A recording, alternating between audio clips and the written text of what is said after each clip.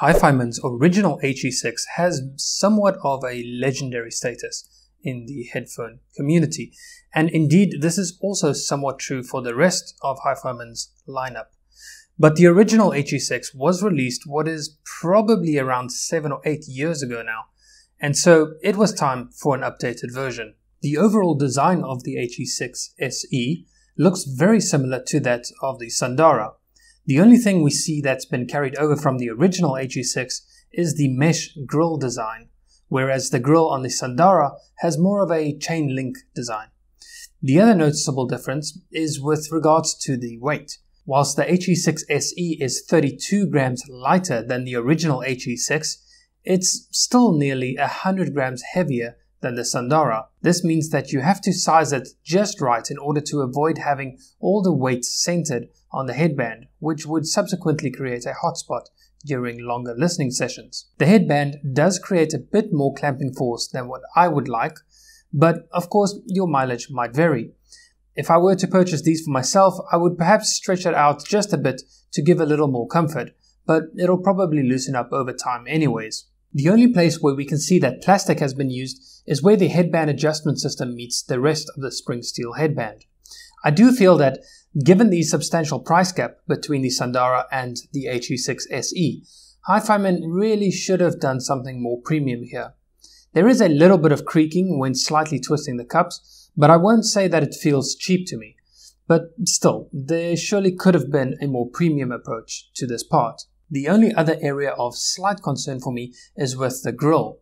Uh, we can move these around just ever so slightly. Now, they don't rattle around if you shake the headphones, but I can't help but wonder if they might introduce some slight rattling when playing music.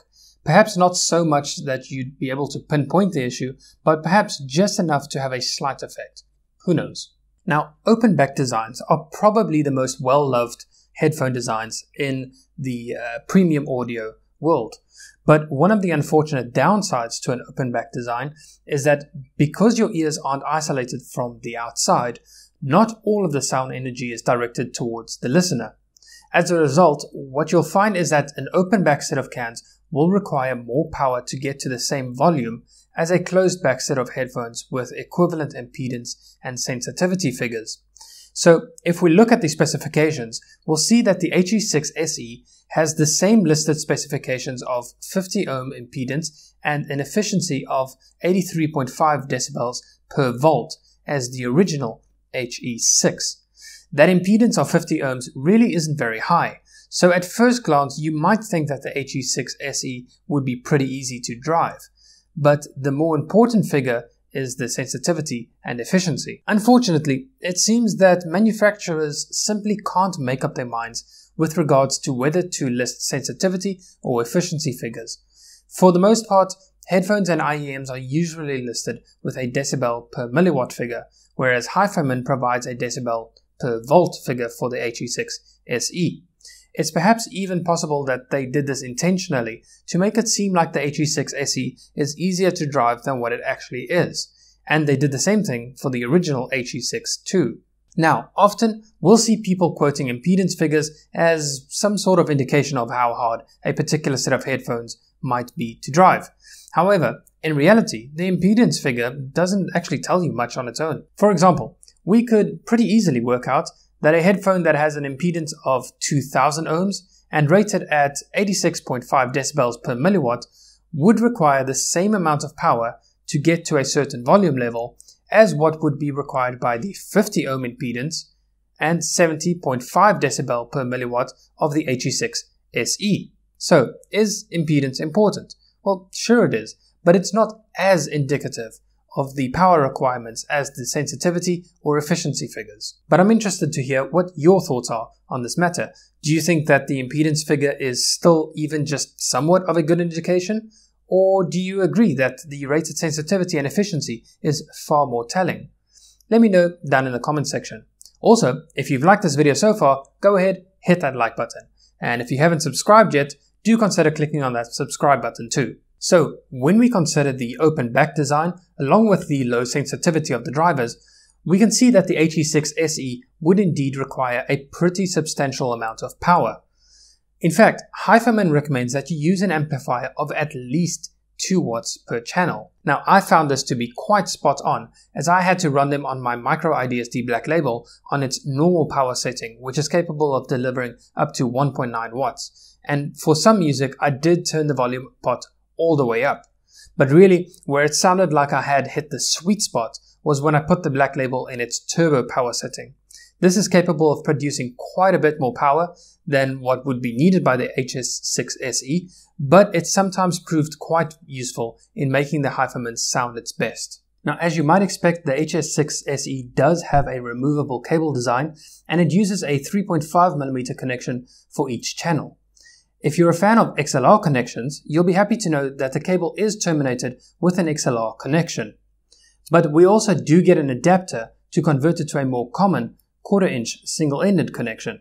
Unfortunately, this means that you would need yet another adapter if you want to use the HE6 SE with a source device that has a regular 3.5mm output.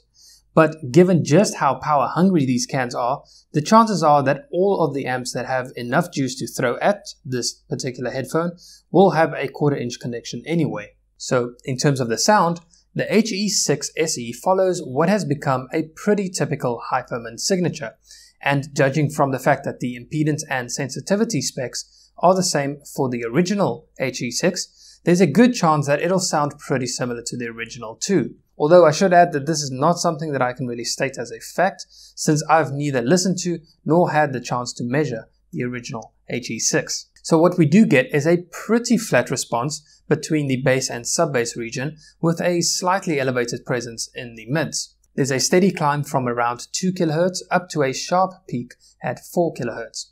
This peak can sometimes be a little bothersome, and I found it to be particularly true when listening to Daft Punk's Doing It Right, where the clap sounds came across as just a bit too forward and distracting for my taste. But when I lowered this region within the EQ, it did become less bothersome. But then again, this isn't something that I can say that I constantly found to be bothersome, so I wouldn't count it as an inherent flaw. Also, our brains have an amazing ability to adapt to our surroundings. And so, if your current headphones already tend to have a little bit of a mid forward signature, then there's a good chance that your brain would have filtered out that characteristic already. In which case, that upper mid range spike of the HE6 SE would probably go unnoticed to you. Further along the frequency response, we have a few more dips and spikes, but nothing in particular that stands out as being problematic to me. That slight spike at 10 kHz does seem to give a bit more shimmer to cymbals, which is quite pleasant. I did notice that they didn't sound quite as wide as I had anticipated, but this might be partly due to the fact that I was also reviewing the HE1000 SE, so that might have had an influence here. But the depth sounded pretty good to me, as did the instrument separation within the sound field. It's still wider than regular closed-back headphones anyways. Overall, the HE6 SE offers an agreeable sound signature, provided of course that you've got an amp that can throw enough power at it. So at the end of it, judging the value of the HE6 SE is pretty much going to depend on what other equipment you already have. Honestly, if your headphone amp isn't capable of delivering more than 2 watts of power to these cans, then you'll really be wasting your time, in my opinion. There are very few headphones that really require me to switch my IDSD Black Label into turbo power mode, but the HE6 SE absolutely demanded it, and even then I had to turn the volume knob all the way up to the 2 o'clock position.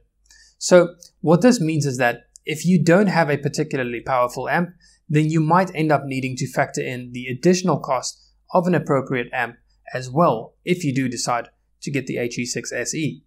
This just is an unfortunate but nevertheless inevitable side effect of using ultra low sensitivity headphones. But if you do already have a headphone amp that can provide adequate power, then I think the HE6 SE offers a very respectable sound character, and so could well prove to be a healthy upgrade over something like the Ananda and perhaps even the Edition X V2. Well, that brings us to the end of this review.